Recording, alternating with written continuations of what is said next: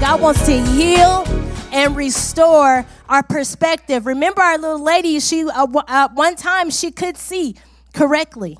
And over time, gradually over 18 years, it slowly went away.